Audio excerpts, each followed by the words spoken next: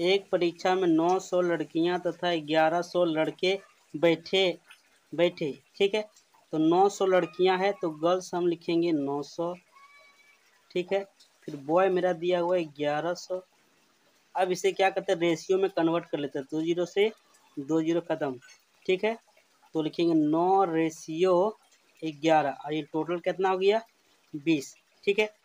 अब बोलता है, इनमें से चालीस परसेंट लड़कियाँ तथा पचास परसेंट लड़के उत्तीर्ण हुए। उत्तीर्ण का मतलब पास हुए। तो कुल कितने प्रतिशत विद्यार्थी अनुत्तीर्ण यानी फेल हुए? हमसे फेल का पूछा है तो हम यहाँ पे लिखेंगे फेल का, ठीक है?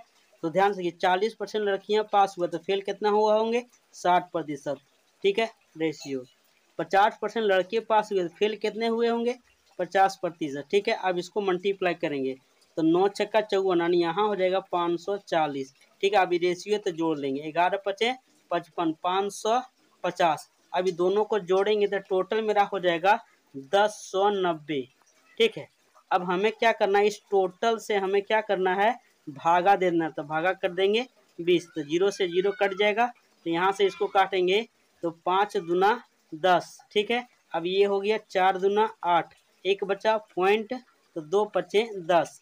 प्रतिशत। ये मेरा क्या होगा? Right answer